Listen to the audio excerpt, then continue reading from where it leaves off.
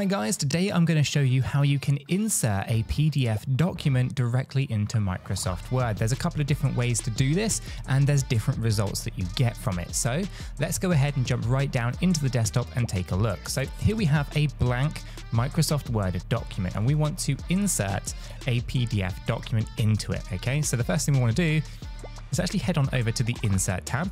And then over here on the far right hand side, we have something called Object okay? And this is under the text subsection of the insert ribbon. Now from here, we can go ahead and click on this object item and we're going to see lots of different options here, right? The uh, first thing that we might want to do is click on one of these, but actually what we want to do is we want to embed a document that we already have, not create something new. So I want to create from file, okay? And then here we want to hit on browse.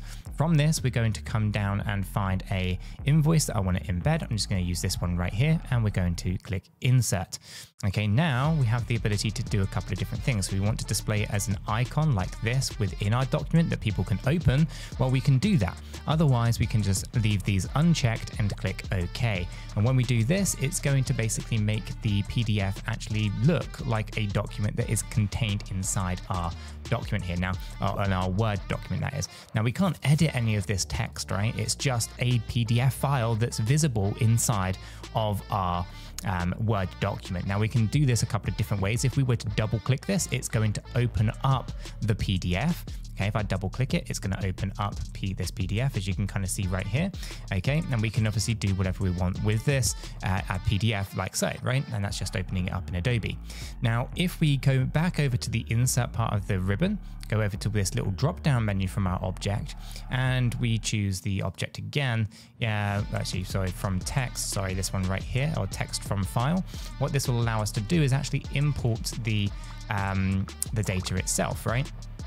So if we insert this again, it's going to basically give us a little bit of a warning. We're going to click OK on it, and it's going to add all of the text here.